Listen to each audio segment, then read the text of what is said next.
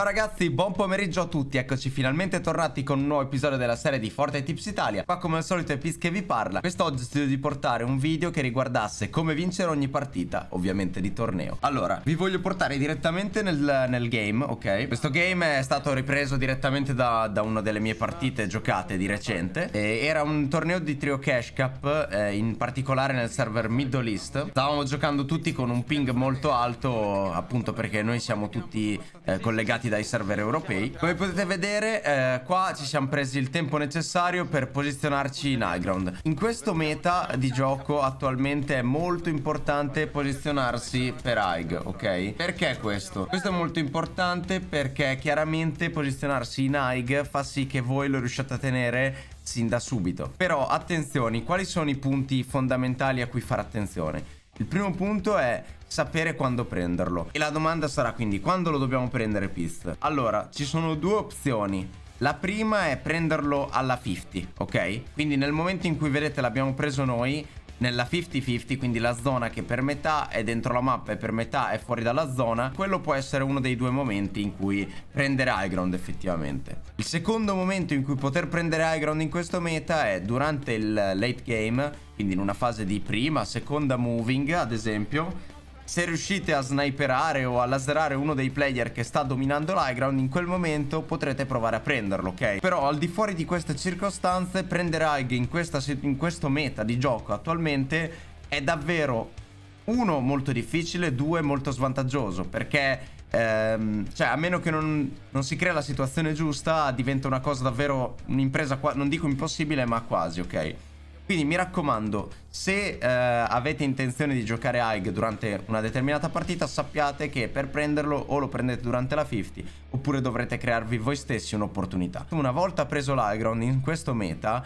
dovete cercare di giocare, mh, mm, non dico safe, però dovete fare molto attenzione a tutte le persone che eh, vogliono provare a contestarvi l'AIG, ok? Perché sostanzialmente in questa, in questa situazione... Eh, è molto facile vincere una partita dall'Iron, ok?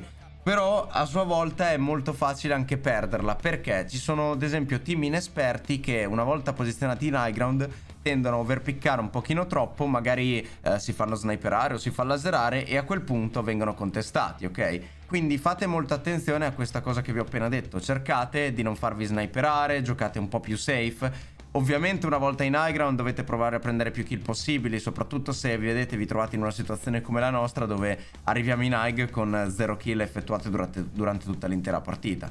Considerate che questo era il nostro game, il nostro, eh, se non erro, ultimo o penultimo game che era importantissimo per eh, arrivare a fare la top 83 per prendere appunto punti di power ranking, però comunque al di fuori di questo eh, ovviamente ogni situazione è come dire unica a sé, ecco cercate di fare attenzione perché attualmente quando vi trovate in AIG siete davvero al centro del mirino, non di tutti ma quasi.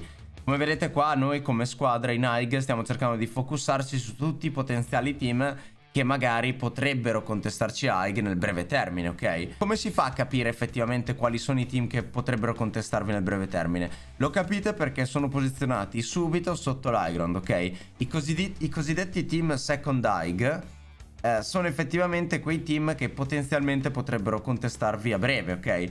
Come ad esempio il team di mattone qui sotto, insomma il team qui di mattone sulla destra. E logicamente questi sono i team che potenzialmente potrebbero contestarci Infatti come vedete li andiamo a spammare subito Per eh, creargli una, una, situazione di difficoltà e di pressione ok eh, Per cui il team è costretto a dire scendiamo di un layer, abbassiamoci eh, L'high è troppo forte ancora, sono tutti vivi Saranno probabilmente full vita, non possiamo contestare e, ehm, e questo è molto importante, ok?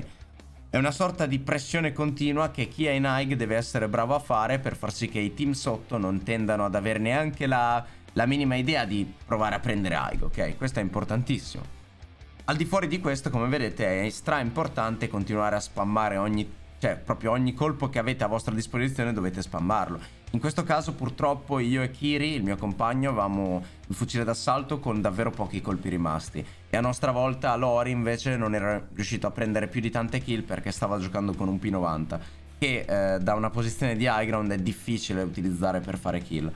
Però, al di fuori di questo, siamo riusciti comunque eh, diciamo, a gestire l'high ground nella maniera migliore. La lobby non era molto, eh, diciamo, complicata Eh, però nonostante ciò ecco ce la siamo gestiti molto bene e, e, nel caso se mi raccomando se avete altre domande più specifiche in merito a questo argomento domandatemele senza problemi nei commenti e magari io mi prenderò anche eh, altri video per rispondere a queste domande ecco. ho intenzione di portare più video eh, in merito a come effettivamente giocare determinate situazioni di torneo perché effettivamente ho visto che episodi del genere piacciono molto e sono anche davvero molto interessanti eh, di per sé il game qua come, come, andrà a finire? Adesso chiaramente vedete io um, arrivo in una situazione in cui sono il player che decide di andare per il off. Come vedete siamo 6 alive, quindi ci aspettavamo magari un 3 contro 3 oppure un 3v2v1.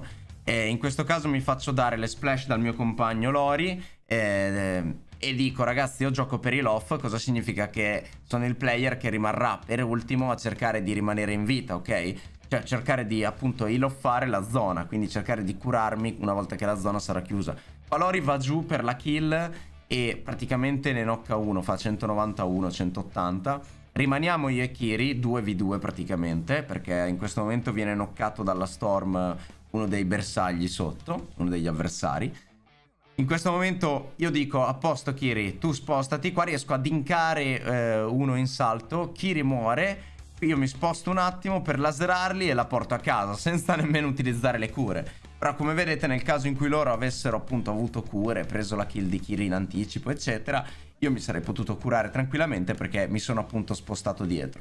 Però come avete visto diciamo che i punti principali eh, ve li ho un po' spiegati durante l'intero video, quindi mi raccomando, high ground in 50, eh, nel caso lo prendete se ne avete la possibilità, eh, se ad esempio è vicino a voi la 50, se potete rampare sopra il team in high, eccetera.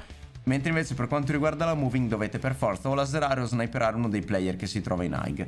Eh, oppure fare una triple bouncer play, quindi in tre magari provate a prendere high con le bouncer, anche se attualmente non è molto efficace perché eh, è molto facile essere laserati se utilizzate le bouncer. Ecco.